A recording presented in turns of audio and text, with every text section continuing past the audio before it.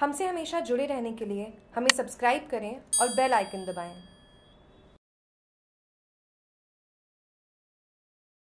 राजस्थान राज्य विधिक सेवा प्राधिकरण जयपुर के निर्देशानुसार जिला विधिक सेवा प्राधिकरण जालौर में विधिक सेवा सप्ताह का शुभारंभ सोमवार को किया गया इस अवसर पर विद्यार्थियों की ओर से जागरूकता रैली निकाली गई। रैली को जिला एवं सेशन न्यायाधीश आर पी सोनी ने हरी झंडी दिखाकर रवाना किया इस अवसर पर जिला विधिक सेवा प्राधिकरण के सचिव नरेंद्र सिंह, मुख्य न्यायिक मजिस्ट्रेट पवन कुमार काला, अतिरिक्त मुख्य न्यायिक मजिस्ट्रेट संख्या दो जालोर श्रीमती रश्मि आर्या न्यायिक मजिस्ट्रेट सुश्री पूर्णिमा यादव, बार एसोसिएशन के अध्यक्ष बनवरला खवास, डीवाईएसपी अमर सिंह चंपावत अतिरिक्त जिला शिक्षा अधिकारी बेराराम चौधरी, मुख्य ब्लॉक शिक्षा अधिकारी संतोष दवे, अतिरिक्त मुख्य ब्लॉक शिक्षा अधिकारी चंद्रकांत रामावत, कानाराम, अंबिका प्रसाद तिवारी, नर्सिंग ट्यूटर शिव कुमार दवे के अलावा विद्यालयों की शिक्षिकाएँ शिक्षक गण अन्य विभागों के अधिकारी व विभिन्न स्कूलों के संस्था प्रधान सहित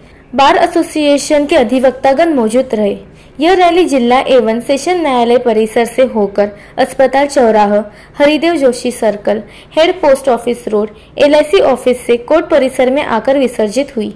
रैली में नर्सिंग स्टूडेंट व विद्यार्थी हाथों में विभिन्न स्लोगन लिखी तख्तियाँ लेकर बेटी बचाओ, बेटी पढ़ाओ, कन्या भूर्ण हत्या अपराध है।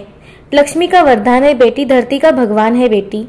बाल विवाह अभिशाप है। ऐसे अन्य विधिक जागरूकता के नारे लगाते हुए चल रहे थे। रैली में नर्सिंग स्टूडेंट्स के अलावा विभिन्न सरकारी व निजी विद्यालय के स्टूडेंट भी मौजूद रहे। जालोर से जागरूक टीवी की रिपोर्ट।